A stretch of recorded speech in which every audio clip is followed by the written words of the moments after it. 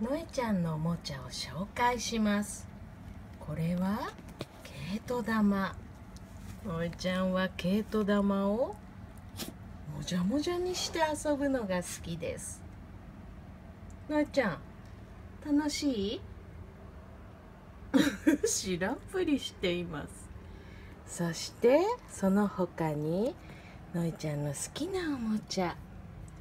き黄色い骨さんこれは何だろうね。カミカミするものです。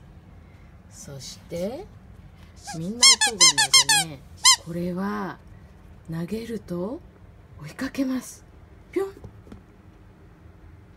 追いかけません。おかしいですね。そしてこれもコッコ鳴ります。これはオール。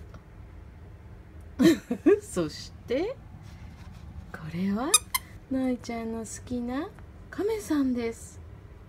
そしてなんといっても一番好きなのがこれ。のいちゃんが大好きな女の子で赤ちゃんの時からずっと一緒にいます。のいちゃんがお出かけする時も病院に入院したりする時もいつも一緒です。のえちゃんがカミカミしちゃうので見てください。かわいそうにボロボロ。だけどのえちゃんは大好きなんです。かわいいかわいいしてカミカミしているうちにこんなになってしまいました。また取りに来ました。